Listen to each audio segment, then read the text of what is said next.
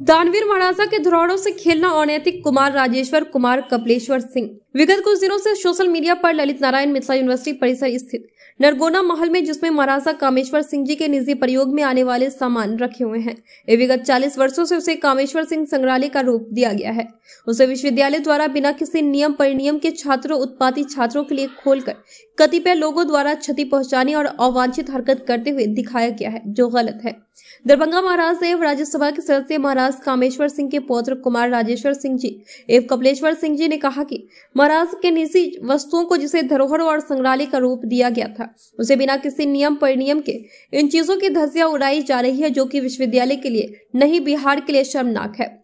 कुमारों ने कहा कि दरभंगा महाराजा का भारत के लिए किया गया कार्य मिथिलांचल कभी भूल नहीं सकता है।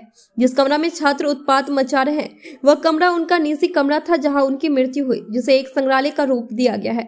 आज जब सोशल मीडिया पर उनके वस्तुओं, बिस्तर, तस्वीरों एवं रखे हुए कई भूमि कीमती चीज़ों को जब अवैध रूप से छात्र इधर उधर फेंक रहे हैं, यह सही रूप है, दुर्भाग्यपूर्ण है।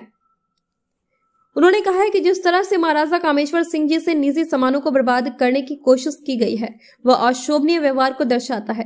एवं सर्वथा अनुचित और आपत्तिजनक है, जहाँ एक विश्वविद्यालय महाराजा कामेश्वर सिंह जी की आदम कद प्रतिमा का अनावरण किया है, वही दूसरी ओर महाराजा को अपमानित करने की नियत से उनके निजी सामानों को साथ जानबूझकर छेड़छाड़ की गई है, जिससे राज परिवार को यह आशंका भी हो गई है कि विश्वविद्यालय प्रशासन महाराजा के बहुमूल्य सामानों को गायब और चोरी करने की भी मंशा रखती है।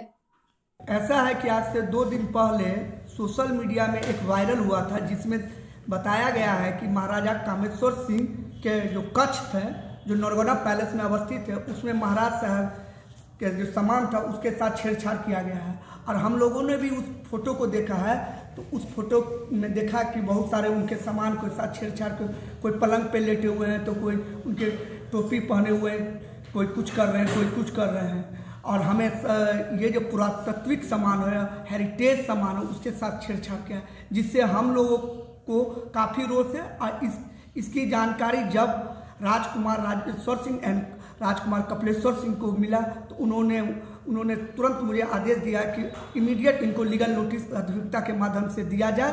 तो हम लोगों ने आज अधिवक्ता के माध्यम से इन्हें लीगल नोटिस दिया है कि अविलंब उस पर कार्रवाई करें, अन्यथा हम लोग न्यायालय के शरण में जाएँगे आप लोगों के खिलाफ।